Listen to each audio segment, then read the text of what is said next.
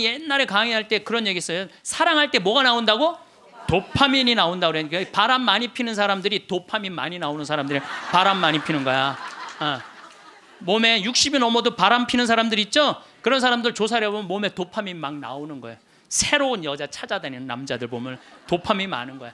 그만큼 사람을 황홀하게 해준대요. 이게 신이 내린 마지막 선물이래. 그런데 마지막 곡기를 끊고 돌아가시는 분들은 마지막에 도파민이 나와서 죽을 때 굉장히 행복하게 죽을 수 있대요. 그러니까 얼마든지 죽을 때 괴롭게 죽는 것만 생각하실 필요는 없다는 거야. 신부님, 우리 어머니가 맨날 나 데려가게 해달라고 나 죽, 죽, 빨리 죽고 싶다고 새빨간 거짓말이었다는 거예요. 왜 그러냐? 그러니까 93살에 혼수 상태가 돼갖고 이제 분당에 있는 재생병원에 입원을 시켰대요. 그러니까 이제 그 자, 며느리가 성가대원을 했었는데 성가대원들이 위로를 온 거야. 그 이제 기도를 해주면서 그 안젤라라는 자매가 그 며느리한테 그랬다는 거예요. 아 이제 이번에는 돌아갔으면 좋겠다고. 이제 할머니 혼수 상태 있는데 이번엔 돌아가셨으면 좋겠다. 그만 자매님 괴롭히고 그리고 위로를 하고 갔대요. 근데 이 할머니가 혼수 상태에서 깨어나서 첫 마디가 뭔지 알아요? 안젤라 전현 만나지 말아라. 이게 첫 마디, 이게 첫 마디.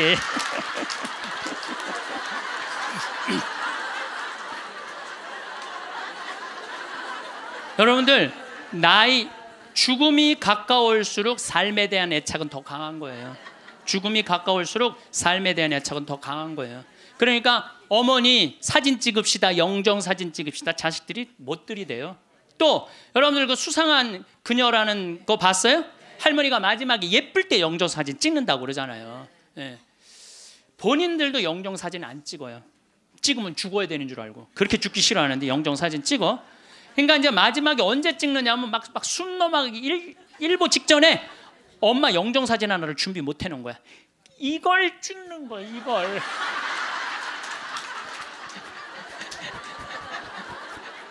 그래갖고 내가 조문을 가보잖아요. 그러면 머리 하얗고 다 이런 사진만 있어요. 안 그래도 슬픈데 이러고 있으면 더 슬프죠. 얼마나 고생을 하고 죽었길래 저러게 하고 저러고 죽나.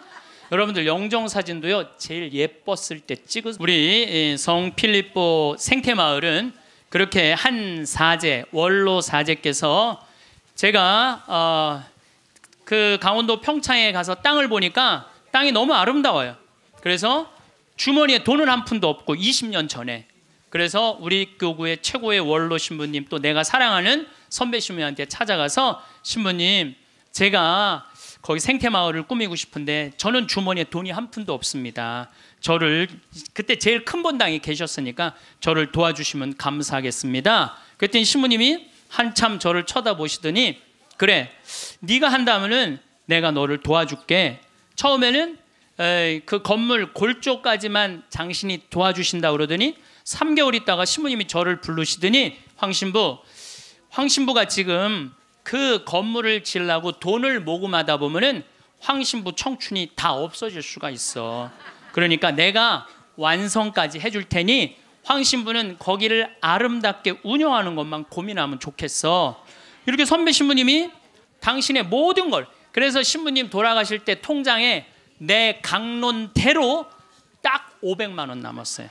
진짜로 너무 기적같이 딱 500만 원 남아서 돌아가실 때. 그래서 그 신부님이 온전히 그 생태 마을을 다 꾸미셔서 저한테 선물로 주신 거예요. 그러니까 나는 신부님 너무너무 감사하잖아요. 그래서 마지막에 제가 신부님을 모시고 살았어요. 황토집을 줘서 신부님 모시고 살았는데 2012년 5월 17일 저녁 8시 17분에 돌아가셨어요. 근데 신부님이 돌아가시기 전에 몇 번 실수를 하셨어요. 근데 저는 신부님이 다리가 이제 불편하니까 제가 마지막에 돌아가는 장면을 다 지켜본 거예요. 다리가 불편하니까 신부님이 거동하는 걸 너무너무 싫어하는 거예요. 그래도 제가 신부님 어떻게 했느냐면 신부님 움직여야 된다고 움직이자고 그래갖고 어떻게 했느냐면은 나하고 오늘도 부관장 신부가 왔는데 우리는 매년 부관장 신부가 오잖아요. 나하고 부관장 신부가 양쪽에 신부님 팔을 껴 그리고 거의 들다시피 해갖고 외식을 나가는 거예요. 들다시피. 그럼 신부님이 앉지도 못하면은 양쪽에서 팔을 끼고 들어서 앉혀요. 그러면은 반쯤 누워서 드시죠. 반쯤 누워서 드시는데도 계속 끝까지, 끝까지. 근데 신부님이 마지막에 87살이 되고 마지막 이가 다 다르니까 어떻게 해결을 해드릴 수가 없더라고요. 그러니까 이제 잇몸까지 이제 달아서 이제 없어지는 거죠. 그래 당신이 몇 번 실수를 하셨어요. 실수를 하셨는데 여든 일곱 살이면 실수해도 그거 험은 아니죠. 근데 그걸 혼자 못 견디더라고요. 그걸 혼자 처리하려고 화장실에서 두 시간, 세 시간을 그걸 혼자 닦아내고 쓸어낸다고. 그래서 그걸 지켜보니까 안 되겠어. 신부님 병원에 모셔야 되겠다. 이제는 병원에 모실 때가 됐다. 그래갖고 이제 빈센트 병원에 신부님을 모셨죠. 근데 신부님 모셨는데 나는 이번에 처음 알았어요. 신부님이 씹는 걸 까먹는 치매가 온 거야. 치매가 와도요 밥을 떠넣어드려도 씹지를 않는 거야. 이게 뭐냐면 곡기 끊는 거예요. 그럼 곡기를 끊으면요 여러분들 죽을 때 가장 편안하게 죽는 건 곡기 끊고 죽는 거예요. 곡기 끊고 죽는 거예요. 죽을 때 가장 편안하게 죽는 건 곡기를 끊으면요. 내가 음 이제 마지막 병자성사를 다녀보면은요 곡기 끊은 할머니 할아버지들은요 신음 소리도 안 내요. 신음 내고 가만히 주무세요. 계속 주무시고 여러분들 그렇게 갖고 죽을 때요 마지막에는요 음, 여러분들 마지막에 죽을 때 황홀하게 죽는 사람들이 있대요. 황홀하게 죽는 사람이 있대요. 그게 신의 마지막 선물인 도파민이 나온대요. 내가 강의 옛날에 강의할 때 그런 얘기 했어요. 사랑할 때 뭐가 나온다고? 도파민이 나온다고 그러니까 바람 많이 피는 사람들이 도파민 많이 나오는 사람들이 바람 많이 피는 거야. 어. 몸에 60이 넘어도 바람 피는 사람들 있죠? 그런 사람들 조사를 해보면 몸에 도파민 막 나오는 거예요. 새로운 여자 찾아다니는 남자들 보면 도파민이 많은 거야. 그만큼 사람을 황홀하게 해준대요. 이게 신이 내린 마지막 선물이래. 그런데 마지막 곡기를 끊고 돌아가시는 분들은 마지막에 도파민이 나와서 죽을 때 굉장히 행복하게 죽을 수 있대요. 그러니까 얼마든지 죽을 때 괴롭게 죽는 것만 생각하실 필요는 없다는 거야. 곡기를 그냥 씹는 걸까? 그래서 이제 물리치료사가 와갖고 계속 씹는 법을 가르쳐 주더라고요. 그래서 어 저기 뭐야 어 우리 저기 신부님 이제 도저히 안 되겠다고 씹는 걸 까먹는 치매가 와서 그 다음 조치를 취해야 되겠다는 거야. 그럼 그 다음 조치를 뭐냐니까 목에 구멍을 뚫는 거라는 목에 구멍을. 영국 이코노모스티즈에서 발음이 잘 안 나오네. 예. 이코노미스트지에서 죽음의 질을 조사했는데 우리나라가 꼴찌예요.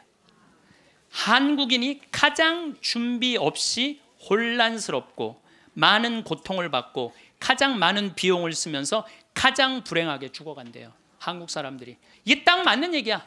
제가 지금 장장 9시간에 걸쳐서 죽음에 대한 얘기를 하죠. 근데 왜 우리는 죽음의 준비가 없이 혼란스러우냐? 끝까지 안 죽으려고 그래. 끝까지. 죽음 죽음 이후의 세계를 바라지 않기 때문에 주 우리나라는 주 여러분들 터키 사람들은 천당 간다고 믿는 비율이 95%라고 제가 얘기했잖아요. 근데 우리나라 사람은 천당 간다고 믿는 비율이 49%밖에 안 되는 거예요. 그러니까 어, 어떻게 해서든지 수단과 방법을 가리지 않고 끝까지 살라고 노력을 하는 거야. 그러니까 죽을 때 준비가 없는 거예요. 죽음을 받아들이지 않은 거. 혼란스러운 거, 혼란스러운 거야. 내가 천국에 갈지 지옥에 갈지 이게 확신이 없으니까 혼란스럽고 가장 많은 고통을 받아. 끝까지 약을 투여하니까 고통을 겪는 거예요. 고통을 많이 받고 가장 많은 비용을 써. 어, 뭐이 서양 사람들, 뭐 영국 사람들 보면은요 죽을 때가 되면은요 받아들이는 요즘 그런 문화가 참 그래서 참 안타까운 거는 미국의 대학은 죽음이라는 과목을 강의를 해요. 대학에서 아예 죽음이라는 것을 여러분들 우리가 인생의 가장 큰 숙제 중에 하나가 뭘까요? 죽음이에요. 근데 거기에 대해서 우리는 아는 게 하나도 없어. 그냥 안 죽으려고만 그래. 아는 거 없이 안 죽으려고만. 죽음 학이라는 게 있다니 죽음 학이라는 게. 그래서 나는 우리나라 적어도 대학 정도면 죽음학을 가르쳐야 된다고 생각을 해요. 죽음에 대해서. 제가 마지막에 그 괴롭게 죽는 분들을 너무 많이 봤거든. 병자성사 쫓아가서 보면은 막 피를 토하고 막 온몸을 떨고 죽는 사람들도 많아요. 그런데 정말로 곱게 죽는 할머니들. 내가 정말로 잊지 않는 할머니야. 예, 보자 비산동 보자니까 22년 전 보자 때인데 새벽에 어, 막 사정환을 두들기는 거예요. 나가 보니까 그냥 덩치가 이만한 고등학교 2학년 3학년 여학생인데 신부님 우리 어머니 돌아가셔요 돌아가셔요 그런데 99살이래. 그래갖고 새벽에 쫓아갔죠. 쫓아갔는데 내가 가니까 할머니 참 곱더라고요. 그런데 내가 병자성사라는데 아들이 어머니 신부님 오셨어요. 그러니까 나하고 눈을 마주치더니 내가 병자성사 전례를 하는데 내 손 그 따뜻하더라고 손이 내 손을 잡고 전례가 마지막 우리 주 그리스도를 통하여 비나이다 하는데 딱 돌아가시더라고요. 아주 예. 그 할머니는 내, 내 생각에는 그냥 직천당 간 거야. 자 여러분들 이제 죽을 때 내가 죽을 때 암이 걸렸어. 그럼요 제일 좋은 건요 호스피스 병동에 들어가는 거예요. 근데 호스피스 병동은 언제 안 받아주냐? 막 죽기 전에 일보 직전에 안 받아줘요. 언제 받아주냐? 정신이 온전할 때, 정신이 온전할 때, 거동이 가능할 때. 그 호스피스 병동에 들어가면은요, 모르핀이 한 대 200원이에요. 마약이 한 대 200원이에요. 그거 마약이요, 원도 한도 없이 놔줘요. 마지막 호스피스 병동에서는. 그러니까 마지막까지 생각만 바꾸면 마지막까지 원도 한도 없이 마약 맞고 죽을 수 있어. 어. 그래서 이걸 뭐라고 그러냐면은 암성 통증이 없게 해준다는 거예요. 암성 통증이. 근데 여러분들 엄청난 차이가 있어요. 끝까지 살라고 항암제 하잖아요. 그럼 마지막까지 고통스럽게 살다가 죽는 거야.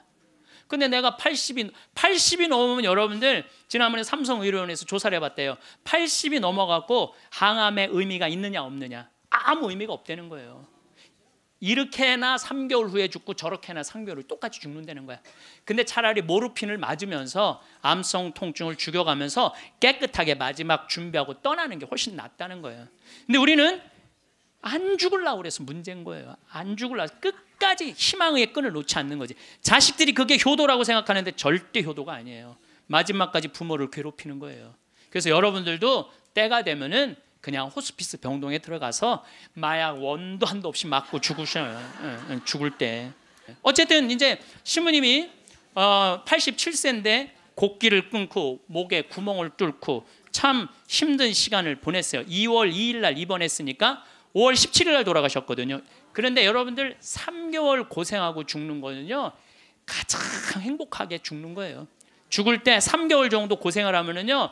자식인 내가 자식 아니야 우리 신부님한테 자식인 내가 마저 못한 효도하고 찾아볼 거 찾아보고 주위에 만날 사람 다 만나고 3개월 지나면서부터 지겨워요.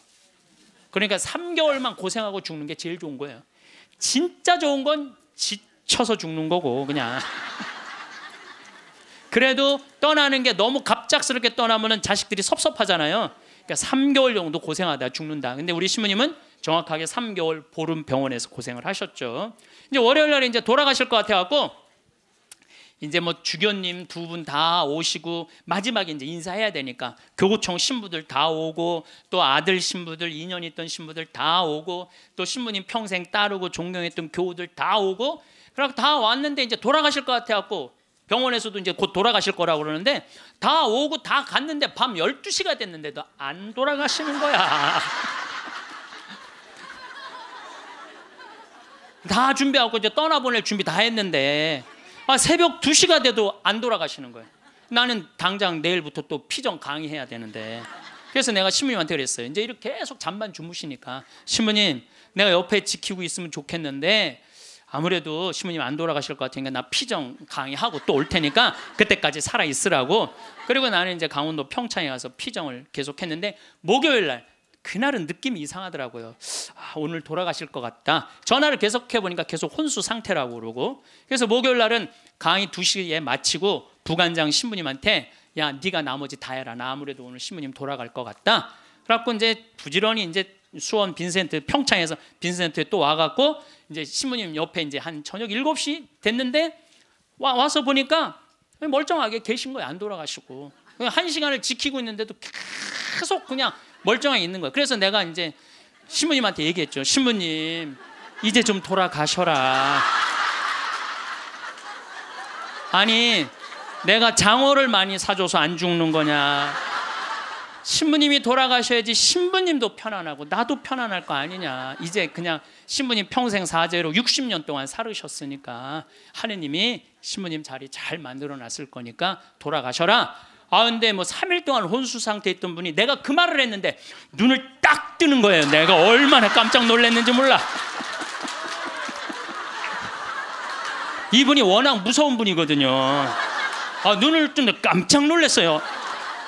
그랬더니 그 평생 로사하고 가브리엘 신부님 모시던 부부가 그러는 거예요.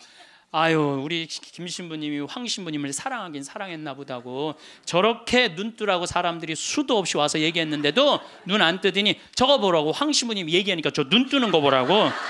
그래서 내가 신부님한테 그래서 신부님 나는 신부님 때문에 평생 행복했다. 정말 신학생 때부터 참 아껴주셨거든요. 보자 때도 그랬고 또 내가 새로 막 성당 이제 본당 신부 돼 갖고 막 혈기 왕성할 때 성당 분가하려고 땅이 나왔는데 그 땅 돈이 2억이나 됐어. 20년 전에. 그런데 2억 있어야지 그 땅을 딱 잡는데 지금 그 땅이 아주 아파트 한가운데 금싸라기 땅이 됐어요. 나야 뭐 기댈 신부님 그분밖에 없고 신부님 저 돈 좀 2억 꿔주세요. 그분이요 단 1초도 안 걸리고 내려와. 이마만큼 아끼고 사랑해 주셔서 나한테 얼마나 고마운 분이에요 평생. 그래서 내가 신부님한테 신부님 신부님 내 평생 내 바람막이고 내 의지 의지가 됐는데 너무너무 고맙다고. 그리고 신부님 오늘 내가 다 오라 그랬거든 신부님. 친한 그 사랑했던 분들 교우들 다 저 눈 좀 마주치라고 다. 그랬더니 내가 시키는 대로 눈을 다 마주치더라고요. 그럼 마지막에 이제 내가 손을 꼭 잡고 신부님 너무너무 고마웠다고. 근데 신부님이 내 손을 꼭 잡더니 눈을 고다로 숨을 거두시더라고요. 네, 그래서 아니 나는 우리 신부님처럼만 죽을 때 죽는다면 원도 한도 없겠어요. 원도 한도 없. 그래서 이제 어, 의사가 와갖고 사망 선언을 하더라고요. 그래서 이제 신부님 떠나 보냈어요. 근데 신부님이 이게 그게 문제가 아니야. 신부님하고 평상시에 뭐가 제일 신부님하고 싸웠느냐면 이놈의 영정 사진 때문에 제일 싸웠어요. 영정. 나는 신부님이 50살 때 빵떡 모자를 쓰고 곰방들 탁 물고 흑백 사진인데 너무 멋있더라고요. 신부님 나 이걸로 영정 사진 할 거다. 그랬더니 신부님 싫다는 거예요. 왜 싫으냐 그랬더니 신부님이 하시는 말씀이 무슨 신부가 담배 피는 걸 영정 사진으로 하느냐고 담배 피는 걸 자기 로만 칼라 찬 걸로 하고 싶다는 거 로만 칼라 찬 걸로. 그래서 60대로 할 거냐 70대로 할 거냐 80대로 할 거냐. 그거 갖고 맨날 싸웠어요. 이걸로 할 거냐 저걸로 할 거냐. 그래서 우리 로사하고 가브리엘 형제자매하고 우리 저기 뭐 센시하고 신부님 신부님 고를 자격이 없다고. 우리가 그냥 신부님 돌아가시면 우리가 얹어놓으면 그걸로 끝이라고. 예? 아무리 신부님이 살아생전에 대단했더라도 죽으면 뭐 마음에 안 든다고 관뚜껑 열고 나와서 바꿀 거냐.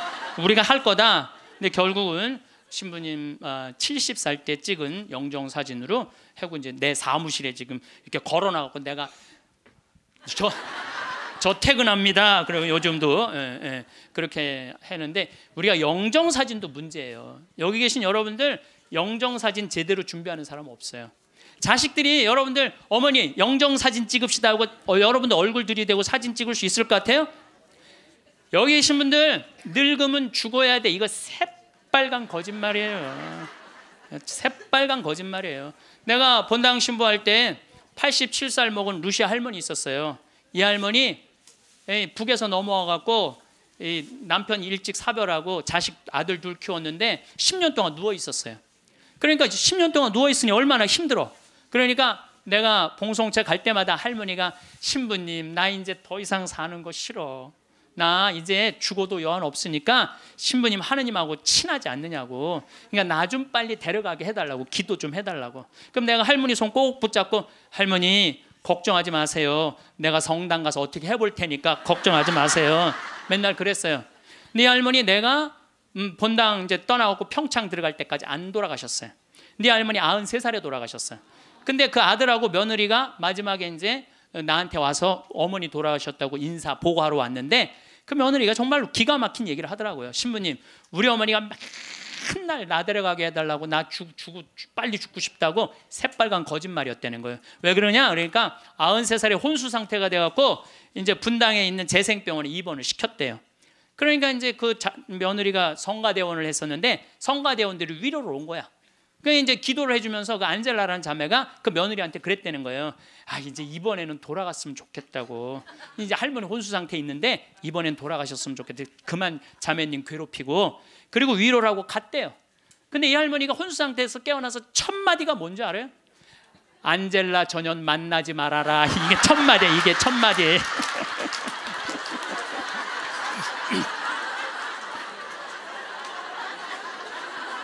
여러분들 나이 죽음이 가까울수록 삶에 대한 애착은 더 강한 거예요. 죽음이 가까울수록 삶에 대한 애착은 더 강한 거예요. 그러니까 어머니 사진 찍읍시다, 영정 사진 찍읍시다. 자식들이 못 들이대요. 또 여러분들 그 수상한 그녀라는 거 봤어요? 할머니가 마지막에 예쁠 때 영정 사진 찍는다고 그러잖아요. 예. 본인들도 영정 사진 안 찍어요. 찍으면 죽어야 되는 줄 알고 그렇게 죽기 싫어하는데 영정 사진 찍어. 그러니까 이제 마지막에 언제 찍느냐면 막막 순놈하게 일, 일보 직전에 엄마 영정 사진 하나를 준비 못 해놓은 거야. 이걸 찍는 거야. 이걸.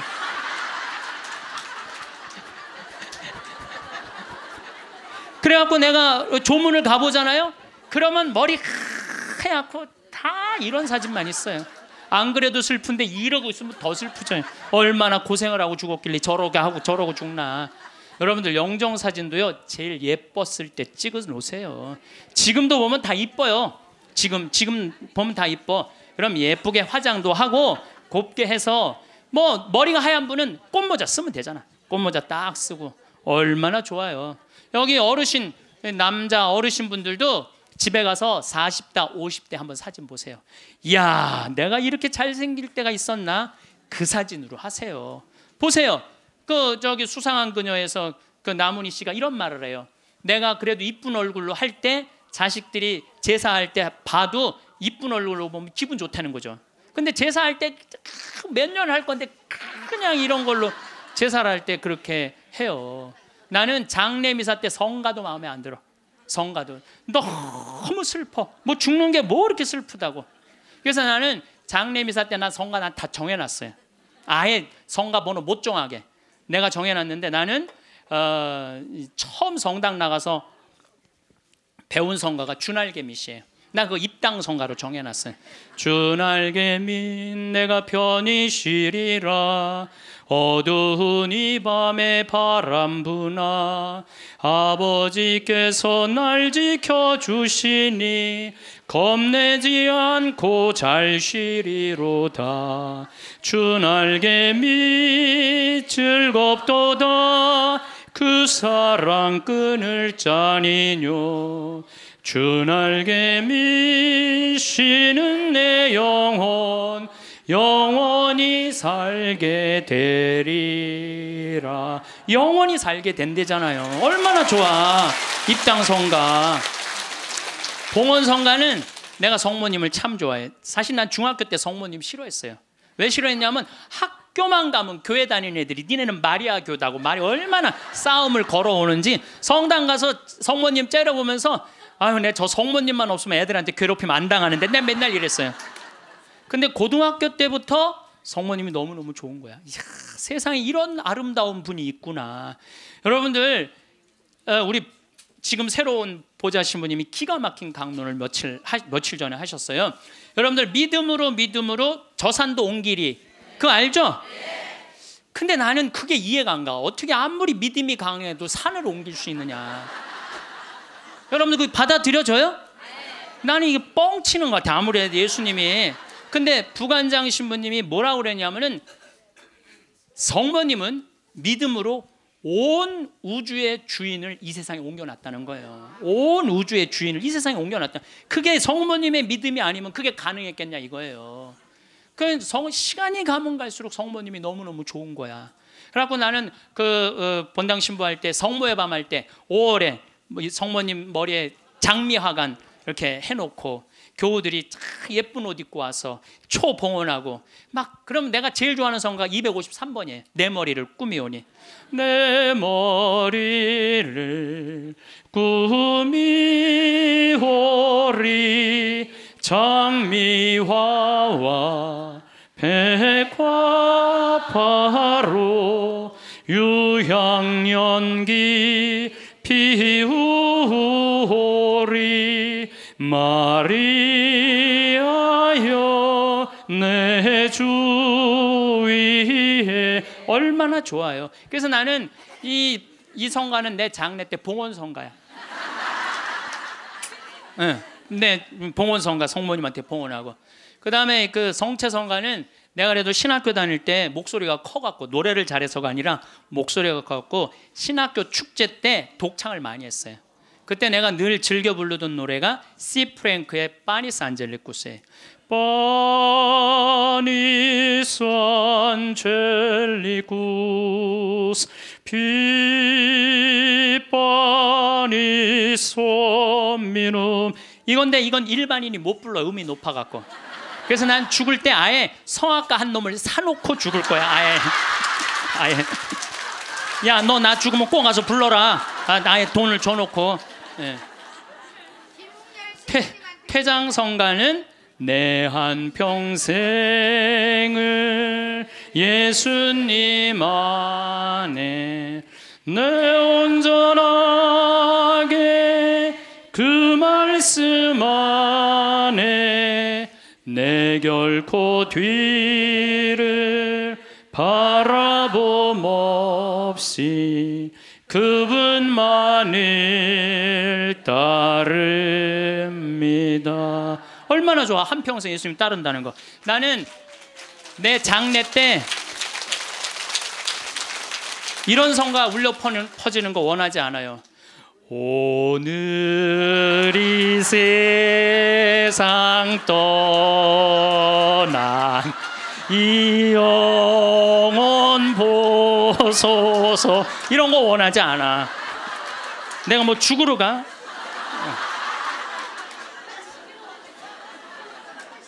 여러분들 우리가요 이 죽을 때도 좀 멋있게 죽자 이거예요. 멋있게. 그래서 죽음을 피하지만 말고 죽음을 준비해 놓고 죽잖아요. 그리고 장례 때 장례 예물 하나 준비해 놓지 않고 죽지 말라는 거예요. 예?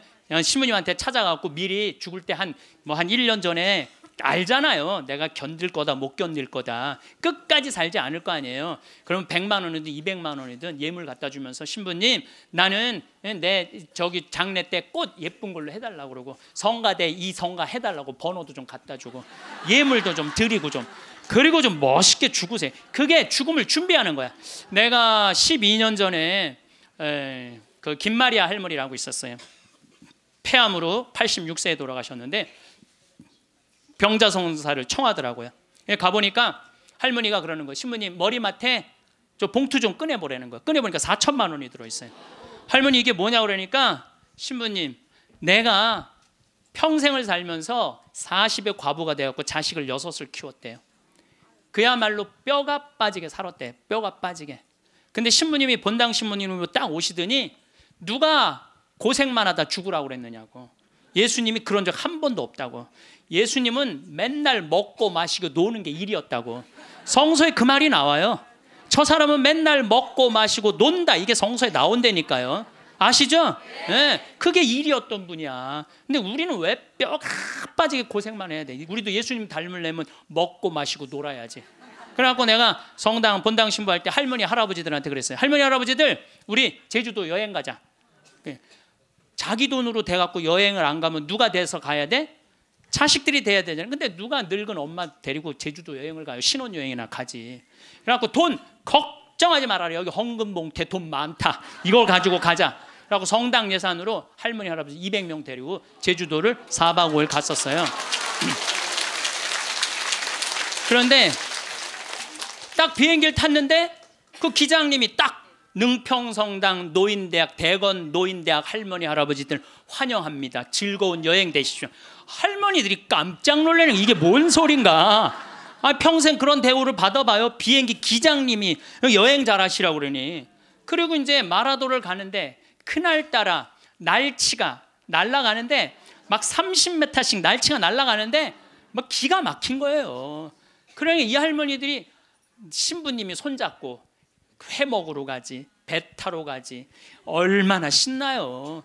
그러면서 그 할머니 마리아 할머니가 그래요. 내 평생 신부님하고 산 3년처럼 행복했던 적은 없다는 거예요. 신부님이 청와대도 데리고 가고 청와대도 여러분들 청와대도 신청만 하면 다 들어갈 수 있어요. 어. 청와대도 신청만 하면 다 들어가. 그 다음에 강원도 생태마을은 내가 그 주인이니까 맨날 3박 4일씩 할머니들 데려와서 놀고 래프팅 태워주고 그러니까 자기는 그 3년 동안 사는 게 인생에 그렇게 행복했을 적이 없었다는 거야. 정말 성당 가는 게 소풍 가는 기분이었대 매일매일. 근데 신부님 말대로 내가 할머니가 돈이 많았는데 쓸 줄을 몰랐던 거야.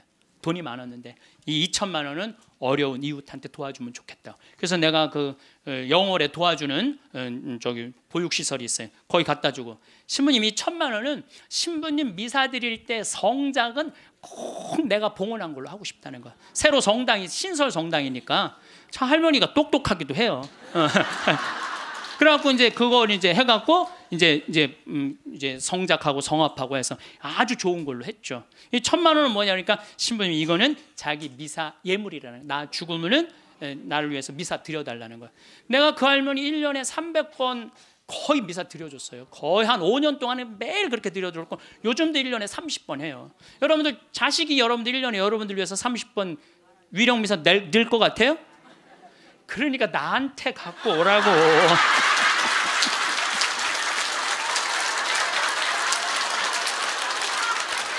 아 이거는 농담이에요. 예.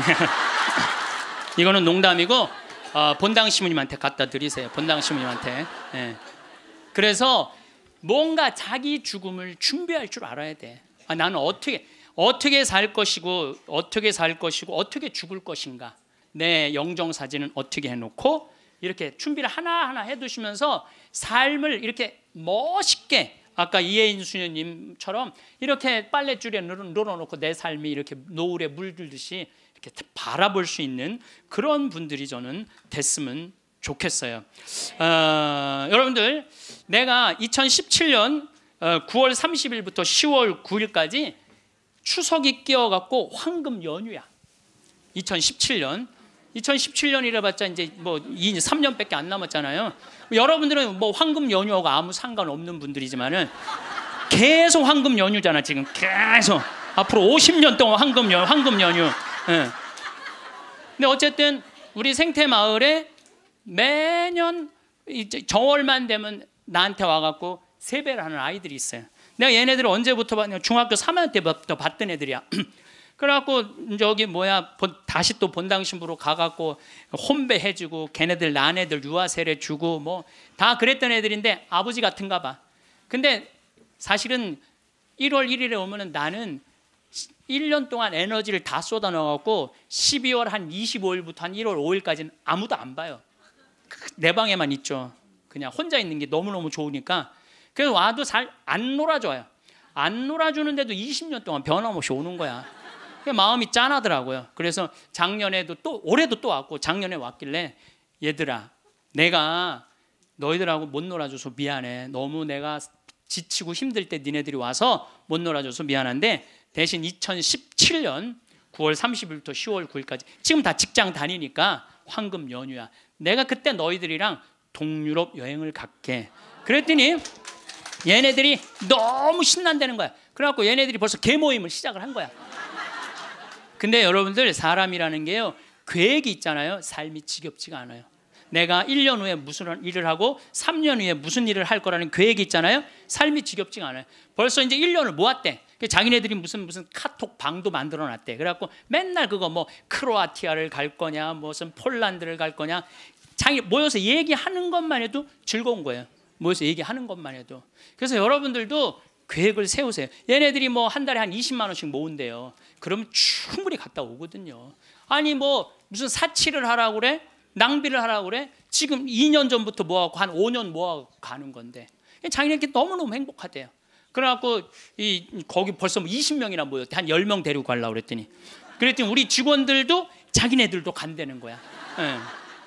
저는 여러분들 제가 요즘 아프리카 봉사를 참 많이 하잖아요. 난 우리 직원들한테 이번 연말에 직원들 회의를 하는데 직원들한테 너무너무 고마운 게 얘네들 분유를 대주는 그 기관에서 작년 말로 분유를 끊었대요. 수녀님이 걱정을 하더라고. 그래서 내가 우리 직원들한테 넌지시 얘기했어요.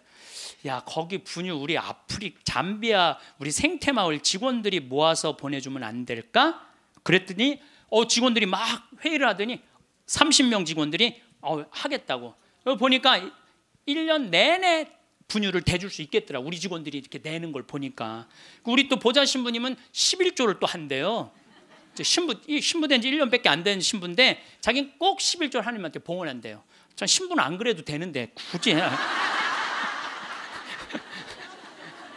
그럼 보좌 신부가 이제 한 달에 이제 100, 10만 원씩 내놓을 것 같아 보니까 그러니까 뭐 이 합치면은 걔네들 뭐 분유 충분하게 먹을 수 있을 것 같아.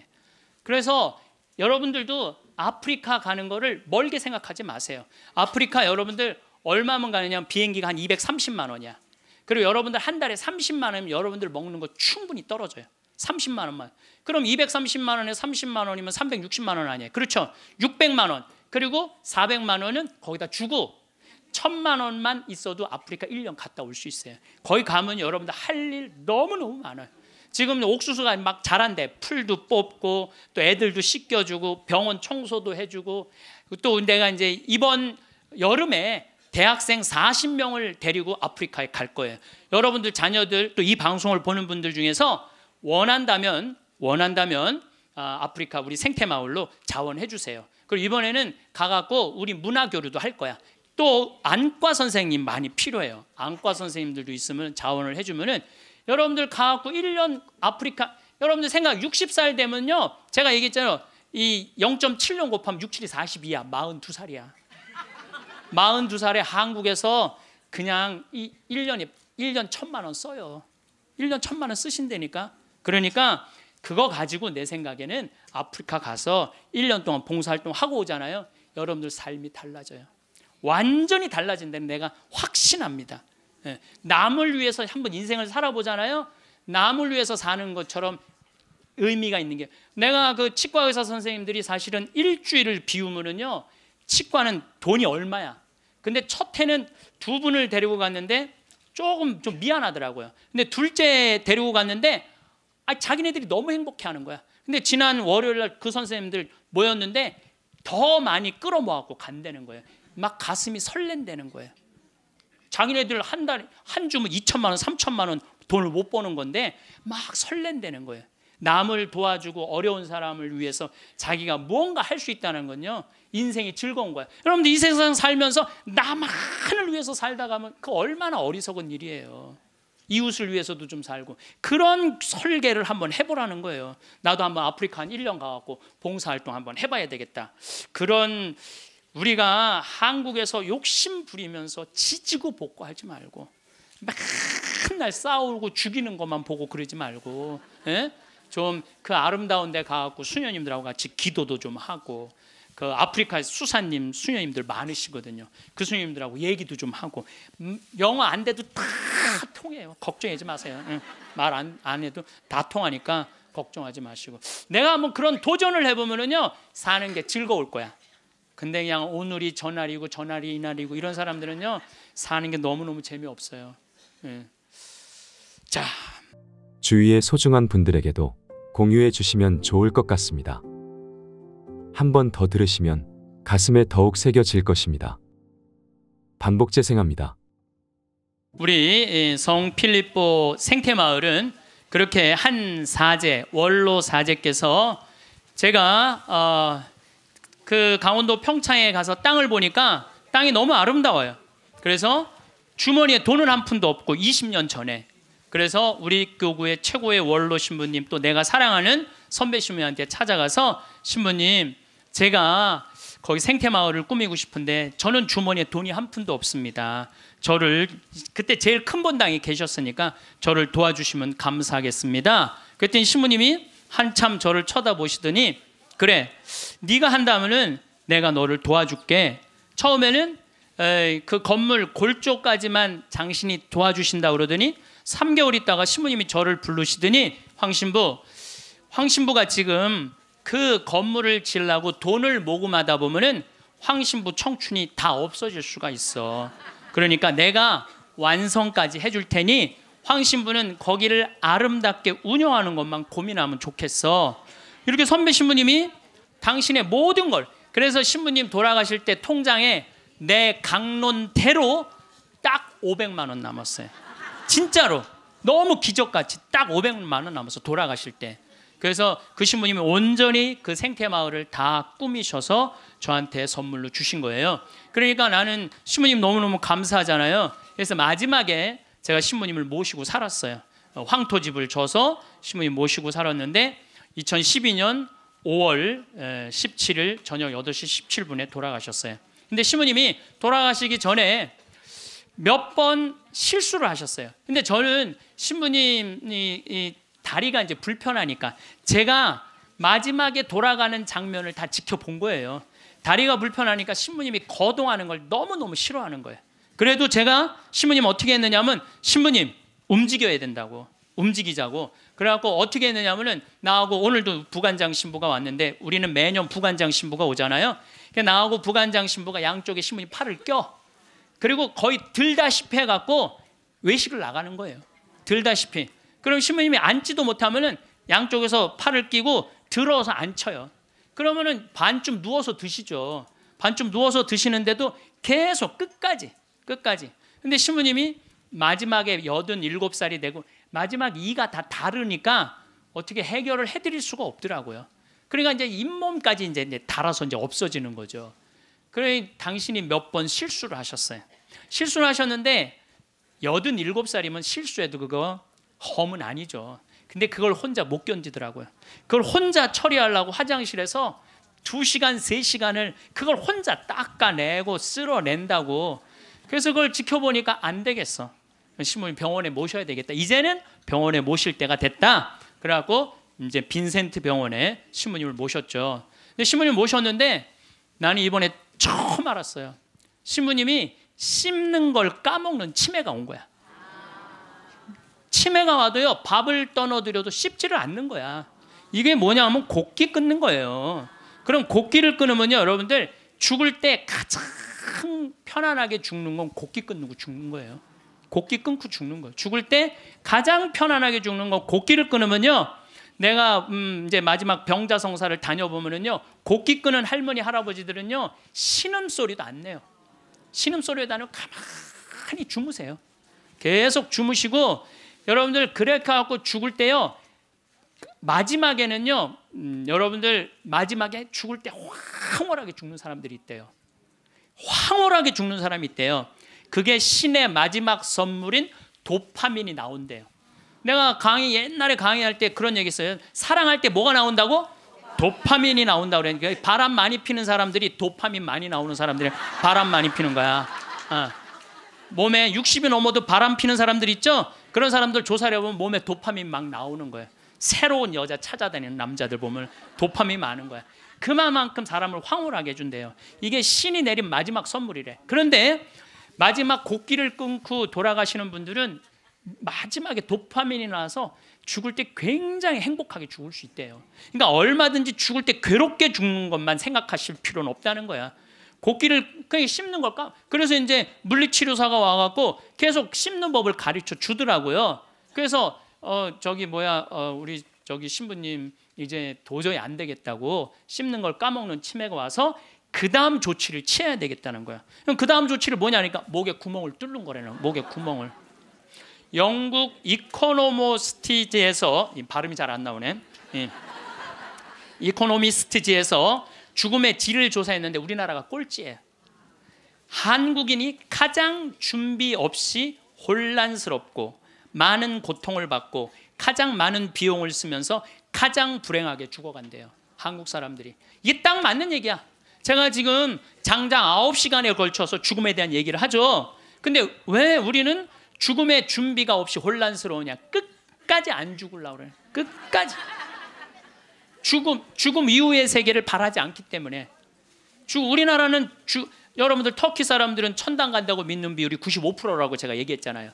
근데 우리나라 사람은 천당 간다고 믿는 비율이 49%밖에 안 되는 거예요. 그러니까 어, 어떻게 해서든지 수단과 방법을 가리지 않고 끝까지 살라고 노력을 하는 거야. 그러니까 죽을 때 준비가 없는 거예요. 죽음을 받아들이지 않은 거. 혼란스러운 거, 혼란스러운 거야. 내가 천국에 갈지 지옥에 갈지 이게 확신이 없으니까 혼란스럽고 가장 많은 고통을 받아. 끝까지 약을 투여하니까 고통을 겪는 거예요. 고통을 많이 받고 가장 많은 비용을 써. 어, 뭐이 서양 사람들, 뭐 영국 사람들 보면은요 죽을 때가 되면은요 받아들이는 요즘 그런 문화가 참 그래서 참 안타까운 거는 미국의 대학은 죽음이라는 과목을 강의를 해요.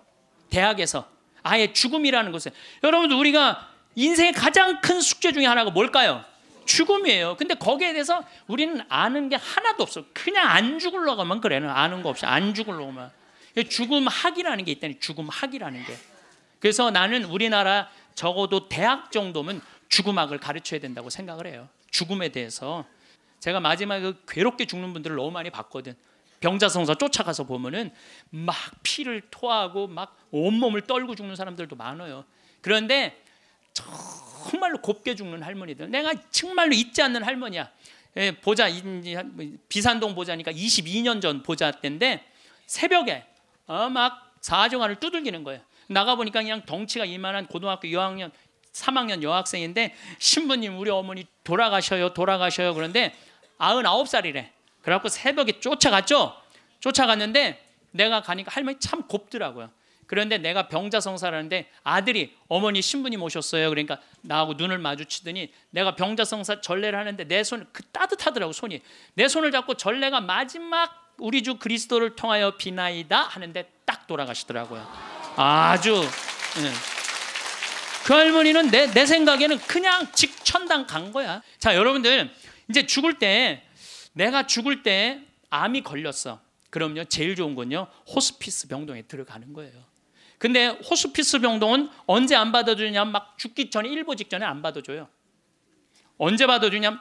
정신이 온전할 때, 정신이 온전할 때, 거동이 가능할 때. 그 호스피스 병동에 들어가면은요 모르핀이 한 대 200원이에요. 마약이 한 대 200원이에요. 그거 마약이요 원도 한도 없이 놔줘요. 마지막에 호스피스 병동에서는. 그러니까 마지막까지 생각만 바꾸면 마지막까지 원도 한도 없이 마약 맞고 죽을 수 있어. 어. 그래서 이걸 뭐라고 그러냐면은 암성 통증이 없게 해준다는 거예요. 암성 통증이. 근데 여러분들 엄청난 차이가 있어요. 끝까지 살라고 항암제 하잖아요. 그럼 마지막까지 고통스럽게 살다가 죽는 거야. 근데 내가 80이 80이 넘으면 여러분들 지난번에 삼성 의료원에서 조사를 해봤대요. 80이 넘어갖고 항암의 의미가 있느냐 없느냐 아무 의미가 없다는 거예요. 이렇게나 3개월 후에 죽고 저렇게나 3개월 후 똑같이 죽는다는 거야. 근데 차라리 모르핀을 맞으면서 암성 통증을 죽여가면서 깨끗하게 마지막 준비하고 떠나는 게 훨씬 낫다는 거예요.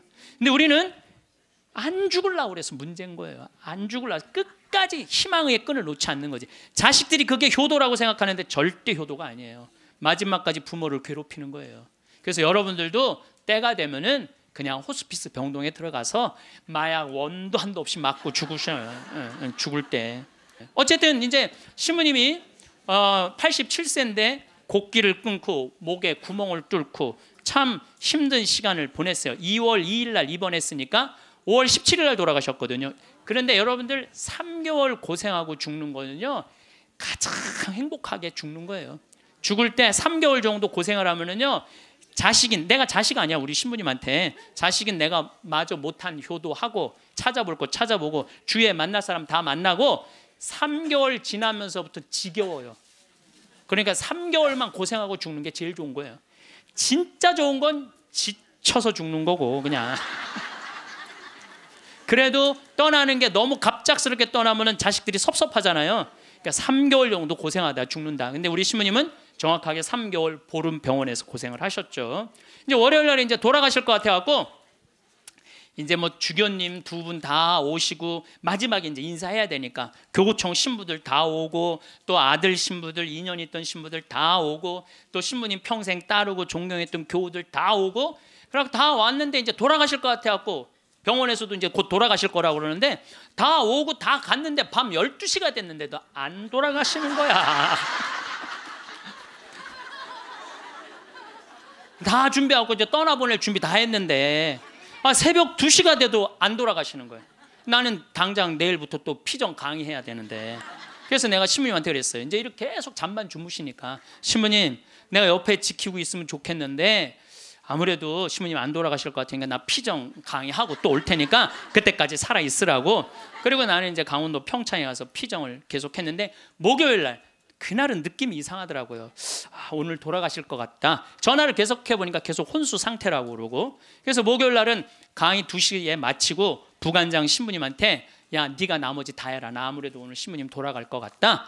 그래갖고 이제 부지런히 이제 수원 빈센트 평창에서 빈센트에 또 와갖고 이제 신부님 옆에 이제 한 저녁 7시 됐는데 와, 와서 보니까 멀쩡하게 계신 거예요. 안 돌아가시고. 한 시간을 지키고 있는데도 계속 그냥 멀쩡하게 있는 거예요. 그래서 내가 이제 신부님한테 얘기했죠. 신부님, 이제 좀 돌아가셔라. 아니 내가 장어를 많이 사줘서 안 죽는 거냐?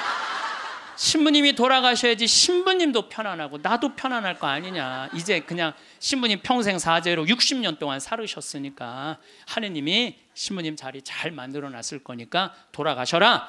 아 근데 뭐 3일 동안 혼수 상태에 있던 분이 내가 그 말을 했는데 눈을 딱 뜨는 거예요. 내가 얼마나 깜짝 놀랐는지 몰라. 이분이 워낙 무서운 분이거든요. 아, 눈을 뜨는데 깜짝 놀랐어요. 그랬더니 그 평생 로사하고 가브리엘 신부님 모시던 부부가 그러는 거예요. 아유 우리 김 신부님이 황 신부님을 사랑하긴 사랑했나 보다고 저렇게 눈뜨라고 사람들이 수도 없이 와서 얘기했는데도 눈 안 뜨더니 저거 보라고 황 신부님 얘기하니까 저 눈 뜨는 거 보라고. 그래서 내가 신부님한테 그래서 신부님 나는 신부님 때문에 평생 행복했다. 정말 신학생 때부터 참 아껴주셨거든요. 보자 때도 그랬고 또 내가 새로 막 성당 이제 본당 신부 돼 갖고 막 혈기 왕성할 때 성당 분가하려고 땅이 나왔는데 그 땅 돈이 2억이나 됐어. 20년 전에. 그런데 2억 있어야지 그 땅을 딱 잡는데 지금 그 땅이 아주 아파트 한 가운데 금싸라기 땅이 됐어요. 나야 뭐 기댈 신부님 그분밖에 없고 신부님 저 돈 좀 2억 꿔주세요. 그분이요 단 1초도 안 걸리고 내려와. 이마만큼 아끼고 사랑해 주셔서 나한테 얼마나 고마운 분이에요 평생. 그래서 내가 신부님한테 신부님, 신부님 내 평생 내 바람막이고 내 의지 의지가 됐는데 너무 너무 고맙다고. 그리고 신부님 오늘 내가 다 오라 그랬거든. 신부님 친한 그 사랑했던 분들 교우들 다 저 눈 좀 마주치라고 다. 그랬더니 내가 시키는 대로 눈을 다 마주치더라고요. 그럼 마지막에 이제 내가 손을 꼭 잡고 신부님 너무 너무 고마웠다고. 근데 신부님이 내 손을 꼭 잡더니 눈을 그대로 숨을 거두시더라고. 네, 그래서 아니 나는 우리 신부님처럼만 죽을 때 죽는다면 원도 한도 없겠어요. 원도 한도 없. 그래서 이제 어, 의사가 와갖고 사망 선언을 하더라고요. 그래서 이제 신부님 떠나 보냈어요. 근데 신부님이 이게 그게 문제가 아니야. 신부님하고 평상시에 뭐가 제일 신부님하고 싸웠느냐면 이놈의 영정 사진 때문에 제일 싸웠어. 영정. 나는 신부님이 50살 때 빵똥 모자를 쓰고 곰방들 탁 물고 흑백 사진인데 너무 멋있더라고요. 신부님 나 이걸로 영정 사진 할 거다. 그랬더니 신부님 싫다는 거예요. 왜 싫으냐 그랬더니 신부님이 하시는 말씀이 무슨 신부가 담배 피는 걸 영정 사진으로 하느냐고 담배 피는 걸 자기 로만 칼라 찬 걸로 하고 싶다는 거 로만 칼라 찬 걸로 그래서 60대로 할 거냐 70대로 할 거냐 80대로 할 거냐. 그 갖고 맨날 싸웠어요. 이걸로 할 거냐 저걸로 할 거냐. 그래서 우리 로사하고 가브리엘 형제자매하고 우리 저기 뭐 센시하고 신부님 신부님 고를 자격이 없다고. 우리가 그냥 신부님 돌아가시면 우리가 얹어놓으면 그걸로 끝이라고. 예? 아무리 신부님이 살아생전에 대단했더라도 죽으면 뭐 마음에 안 든다고 관뚜껑 열고 나와서 바꿀 거냐. 우리가 할 거다. 근데 결국은 신부님 70살 아, 때 찍은 영정 사진으로 하고 이제 내 사무실에 지금 이렇게 걸어놔갖고 내가 저, 저 퇴근합니다. 그리고 요즘도 예, 예, 그렇게 했는데 우리가 영정 사진도 문제예요. 여기 계신 여러분들 영정 사진 제대로 준비하는 사람 없어요. 자식들이 여러분들 어머니 영정 사진 찍읍시다 하고 어, 여러분들 얼굴 들이대고 사진 찍을 수 있을 것 같아요?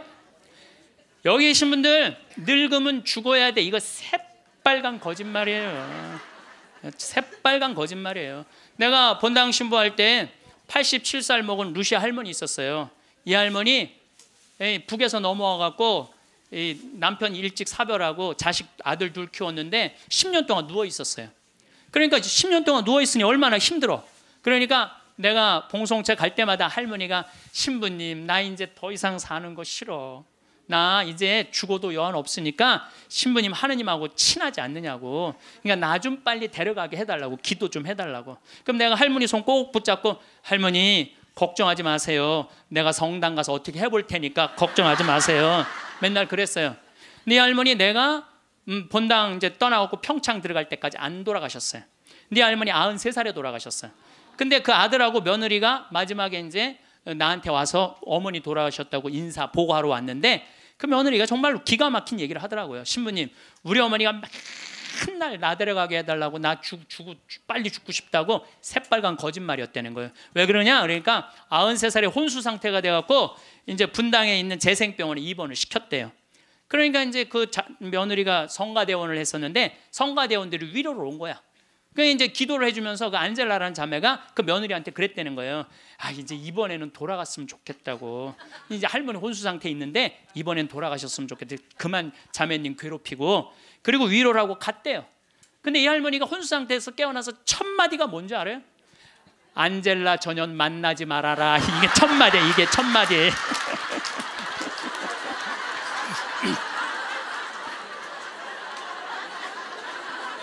여러분들 나이 죽음이 가까울수록 삶에 대한 애착은 더 강한 거예요.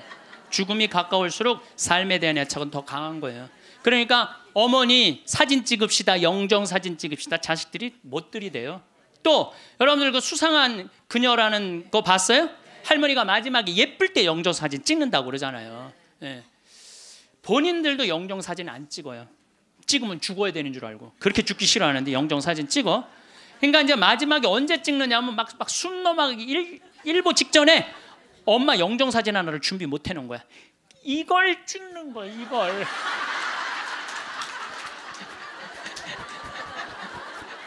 그래갖고 내가 조문을 가보잖아요. 그러면 머리 하얗고 다 이런 사진만 있어요. 안 그래도 슬픈데 이러고 있으면 더 슬프죠. 얼마나 고생을 하고 죽었길래 저러게 하고 저러고 죽나. 여러분들 영정 사진도요 제일 예뻤을 때 찍어 놓으세요. 지금도 보면 다 이뻐요. 지금 지금 보면 다 이뻐. 그럼 예쁘게 화장도 하고 곱게 해서 뭐 머리가 하얀 분은 꽃모자 쓰면 되잖아. 꽃모자 딱 쓰고 얼마나 좋아요. 여기 어르신 남자 어르신 분들도 집에 가서 40대 50대 한번 사진 보세요. 이야 내가 이렇게 잘생길 때가 있었나 그 사진으로 하세요. 보세요. 그 저기 수상한 그녀에서 그 나문희 씨가 이런 말을 해요. 내가 그래도 이쁜 얼굴로 할 때 자식들이 제사할 때 봐도 이쁜 얼굴로 보면 기분 좋다는 거죠. 근데 제사할 때 몇 년 할 건데 그냥 이런 걸로 제사를 할 때 그렇게 해요. 나는 장례 미사 때 성가도 마음에 안 들어. 성가도 너무 슬퍼. 뭐 죽는 게 뭐 이렇게 슬프다고. 그래서 나는 장례 미사 때 난 성가 난 다 정해놨어요. 아예 성가 번호 못 정하게. 내가 정해놨는데 나는 어, 처음 성당 나가서 배운 성가가 주날개미 씨예요. 나 그 입당 성가로 정해놨어요. 주 날개미 내가 편히 쉬리라. 어두운 이 밤에 바람 부나.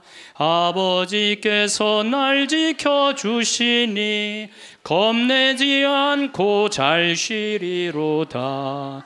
주 날개 미 즐겁도다. 그 사랑 끊을 자니뇨 주 날개미 쉬는 내 영혼 영원히 살게 되리라. 영원히 살게 된대잖아요. 얼마나 좋아. 입당 성가. 봉헌 성가는 내가 성모님을 참 좋아해. 사실 난 중학교 때 성모님 싫어했어요. 왜 싫어했냐면 학교만 가면 교회 다니는 애들이 니네는 마리아 교다고 말이 얼마나 싸움을 걸어오는지. 성당 가서 성모님 째려보면서 아유 내 저 성모님만 없으면 애들한테 괴롭히면 안 당하는데 내가 맨날 이랬어요 근데 고등학교 때부터 성모님이 너무너무 좋은 거야. 이야, 세상에 이런 아름다운 분이 있구나. 여러분들 어, 우리 지금 새로운 보좌 신부님이 기가 막힌 강론을 며칠 하, 며칠 전에 하셨어요. 여러분들 믿음으로 믿음으로 저산도 온 길이 그거 알죠? 근데 나는 그게 이해가 안 가. 어떻게 아무리 믿음이 강해도 산을 옮길 수 있느냐? 여러분들 그 받아들여져요? 나는 이게 뻥치는 것 같아. 아무래도 예수님이 근데 부관장 신부님이 뭐라고 그랬냐면은 성모님은 믿음으로 온 우주의 주인을 이 세상에 옮겨놨다는 거예요. 온 우주의 주인을 이 세상에 옮겨놨다. 그게 성모님의 믿음이 아니면 그게 가능했겠냐 이거예요. 그 성, 시간이 가면 갈수록 성모님이 너무너무 좋은 거야. 그래갖고 나는 그 어, 본당 신부할 때 성모의 밤 할 때 5월에 뭐 성모님 머리에 장미화관 이렇게 해놓고 교우들이 예쁜 옷 입고 와서 초봉헌하고 막 그럼 내가 제일 좋아하는 성가 253번이에요. 내 머리를 꾸미오니 내 머리를 꾸미오리 장미화와 백화파로 유향연기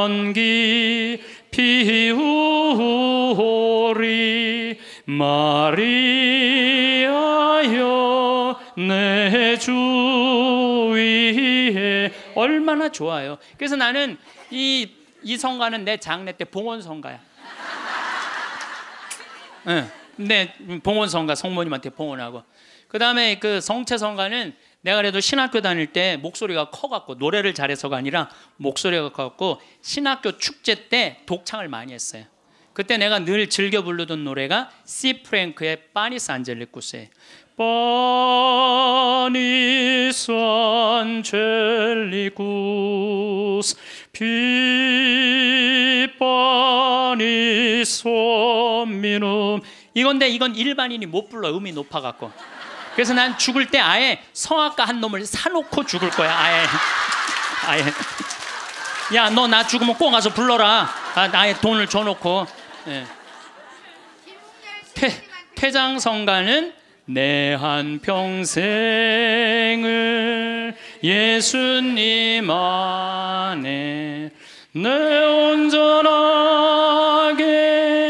그 말씀 안에 내 결코 뒤를 바라봄 없이 그분만을 따릅니다.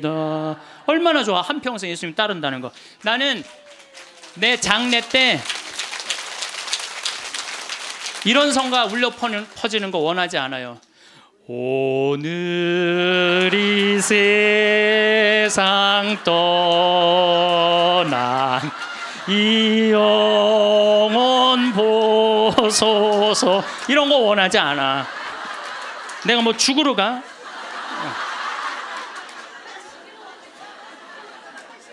여러분들 우리가요 이 죽을 때도 좀 멋있게 죽자 이거예요.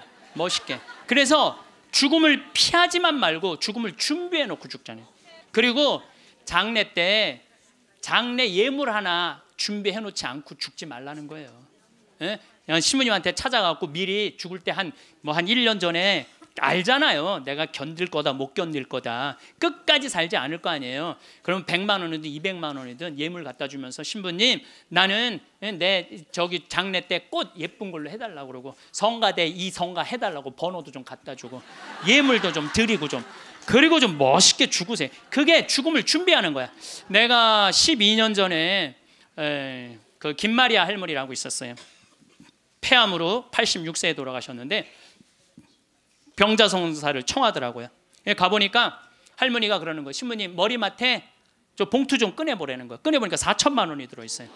할머니 이게 뭐냐 그러니까 신부님 내가 평생을 살면서 40의 과부가 되었고 자식을 여섯을 키웠대요. 그야말로 뼈가 빠지게 살았대. 뼈가 빠지게. 근데 신부님이 본당 신부님으로 딱 오시더니 누가 고생만 하다 죽으라고 그랬느냐고. 예수님이 그런 적 한 번도 없다고. 예수님은 맨날 먹고 마시고 노는 게 일이었다고. 성서에 그 말이 나와요. 저 사람은 맨날 먹고 마시고 논다. 이게 성서에 나온다니까요. 아시죠? 예. 네, 그게 일이었던 분이야. 근데 우리는 왜 뼈가 빠지게 고생만 해야 돼? 우리도 예수님 닮으려면 먹고 마시고 놀아야지. 그래갖고 내가 성당 본당 신부할 때 할머니 할아버지들한테 그랬어요. 할머니 할아버지들 우리 제주도 여행 가자. 예. 자기 돈으로 돼갖고 여행을 안 가면 누가 돼서 가야 돼? 자식들이 돼야 되잖아요. 근데 누가 늙은 엄마 데리고 제주도 여행을 가요? 신혼여행이나 가지. 그래갖고 돈 걱정하지 말아라. 여기 헌금봉태 돈 많다. 이걸 가지고 가자. 라고 성당 예산으로 할머니 할아버지 200명 데리고 제주도를 4박 5일 갔었어요. 그런데 딱 비행기를 탔는데 그 기장님이 딱 능평성당 노인대학 대건 노인대학 할머니 할아버지들 환영합니다. 즐거운 여행 되십시오. 할머니들이 깜짝 놀라는 이게 뭔 소린가? 아, 평생 그런 대우를 받아봐요. 비행기 기장님이 여행 잘하시라고 그러니. 그리고 이제 마라도를 가는데 그날따라 날치가 날아가는데 막 30m씩 날치가 날아가는데 막 기가 막힌 거예요. 그러니 이 할머니들이 신부님이 손잡고 회 먹으러 가지, 배 타러 가지. 얼마나 신나요. 그러면서 그 할머니 마리아 할머니가 그래요. 내 평생 신부님하고 산 3년처럼 행복했던 적은 없다는 거예요. 신부님이 청와대도 데리고 가고 청와대도 여러분들 청와대도 신청만 하면 다 들어갈 수 있어요. 어. 청와대도 신청만 하면 다 들어가. 그 다음에 강원도 생태마을은 내가 그 주인이니까 맨날 3박 4일씩 할머니들 데려와서 놀고 래프팅 태워주고 그러니까 자기는 그 3년 동안 사는 게 인생에 그렇게 행복했을 적이 없었다는 거야. 정말 성당 가는 게 소풍 가는 기분이었대 매일매일. 근데 신부님 말대로 내가 할머니가 돈이 많았는데 쓸 줄을 몰랐던 거예요.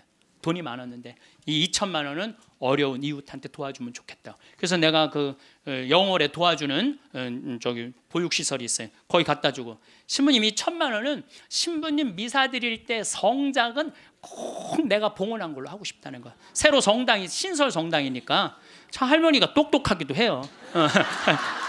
그래갖고 이제 그걸 이제 해갖고 이제 이제 음 이제 성작하고 성합하고 해서 아주 좋은 걸로 했죠. 이 천만 원은 뭐냐니까 신부님 이거는 자기 미사 예물이라는 나 죽으면은 나를 위해서 미사 드려달라는 거야.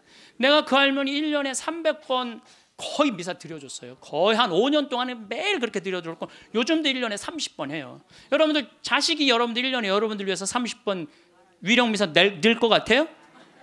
그러니까 나한테 갖고 오라고.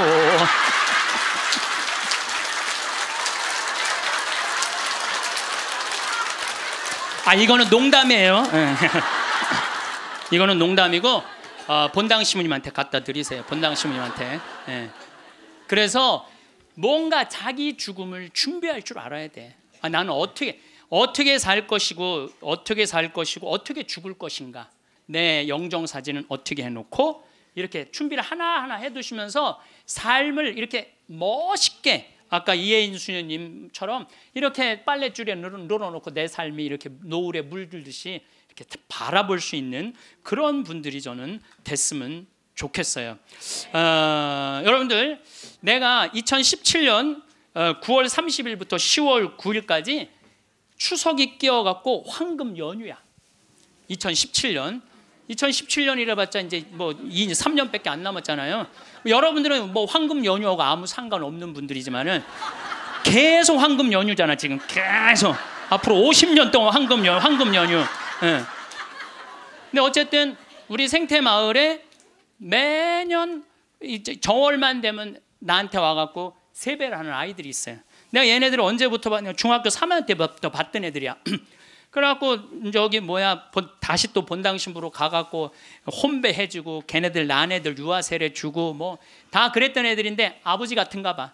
근데 사실은 1월 1일에 오면은 나는 1년 동안 에너지를 다 쏟아 넣어갖고 12월 한 25일부터 한 1월 5일까지는 아무도 안 봐요. 내 방에만 있죠.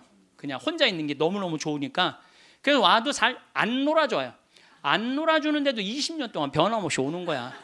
마음이 짠하더라고요. 그래서 작년에도 또 올해도 또 왔고 작년에 왔길래 얘들아 내가 너희들하고 못 놀아줘서 미안해. 너무 내가 지치고 힘들 때 니네들이 와서 못 놀아줘서 미안한데 대신 2017년 9월 30일부터 10월 9일까지 지금 다 직장 다니니까 황금 연휴야. 내가 그때 너희들이랑 동유럽 여행을 갈게. 그랬더니 얘네들이 너무 신난다는 거야. 그래갖고 얘네들이 벌써 개모임을 시작을 한 거야. 근데 여러분들 사람이라는 게요. 계획이 있잖아요. 삶이 지겹지가 않아요. 내가 1년 후에 무슨 일을 하고 3년 후에 무슨 일을 할 거라는 계획이 있잖아요. 삶이 지겹지가 않아요.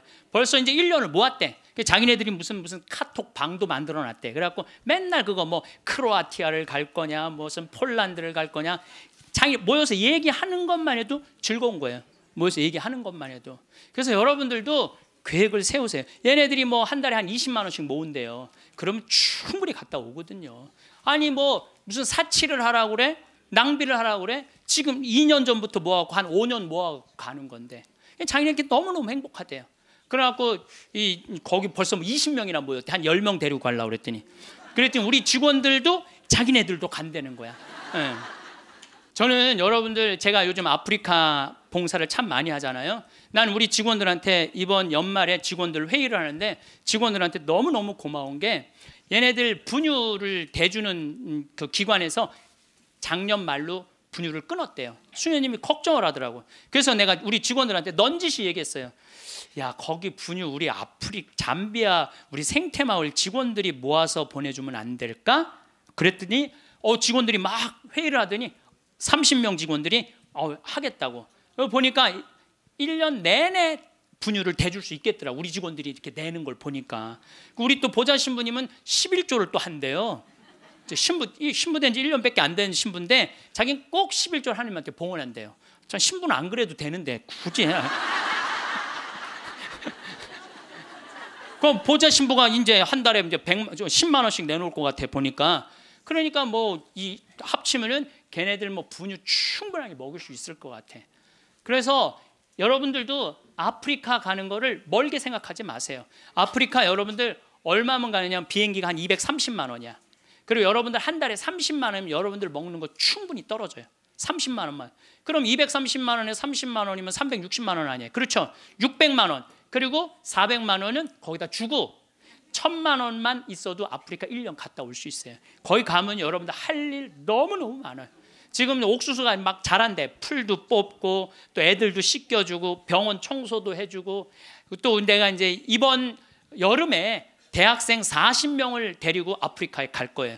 여러분들 자녀들 또 이 방송을 보는 분들 중에서 원한다면 원한다면 아, 아프리카 우리 생태 마을로 자원해 주세요. 그리고 이번에는 가갖고 우리 문화 교류도 할 거야. 또 안과 선생님 많이 필요해요. 안과 선생님들도 있으면 자원을 해주면은 여러분들 가갖고 1년 아프리카 여러분들 생각 60살 되면요. 제가 얘기했잖아요. 이 0.7년 곱하면 6, 7이 42야. 42살이야. 42살에 한국에서 그냥 이 1년에 1년 천만 원 써요. 1년 천만 원 쓰신다니까. 그러니까 그거 가지고 내 생각에는 아프리카 가서 1년 동안 봉사활동 하고 오잖아요. 여러분들 삶이 달라져요. 완전히 달라진다는 내가 확신합니다. 예. 남을 위해서 한번 인생을 살아보잖아요. 남을 위해서 사는 것처럼 의미가 있는 게 내가 그 치과 의사 선생님들이 사실은 일주일을 비우면은요 치과는 돈이 얼마야. 근데 첫 해는 두 분을 데리고 갔는데 조금 좀 미안하더라고요. 근데 둘째 데리고 갔는데 아 자기네들이 너무 행복해하는 거야. 근데 지난 월요일 날 그 선생님들 모였는데 더 많이 끌어모았고 간다는 거예요. 막 가슴이 설렌다는 거예요. 자기네들 한 달 한 주면 2천만 원, 3천만 원 돈을 못 버는 건데 막 설렌다는 거예요. 남을 도와주고 어려운 사람을 위해서 자기가 무언가 할 수 있다는 건요. 인생이 즐거운 거야. 여러분들 이 세상 살면서 나만을 위해서 살다 가면 그 얼마나 어리석은 일이에요. 이웃을 위해서도 좀 살고 그런 설계를 한번 해보라는 거예요. 나도 한번 아프리카 한 1년 가갖고 봉사활동 한번 해봐야 되겠다. 그런 우리가 한국에서 욕심 부리면서 지지고 볶고하지 말고 맨날 싸우고 죽이는 것만 보고 그러지 말고 예? 좀그 아름다운 데 가갖고 수녀님들하고 같이 기도도 좀 하고 그 아프리카 수사님 수녀님들 많으시거든요. 그 수녀님들하고 얘기도 좀 하고 음, 영어 안 돼도 다 통해요. 걱정하지 마세요. 응. 말안 안 해도 다 통하니까 걱정하지 마시고 내가 한번 그런 도전을 해보면은요 사는 게 즐거울 거야. 근데 그냥 오늘이 전날이고 전날이 이날이고 이런 사람들은요 사는 게 너무 너무 재미없어요. 예. 자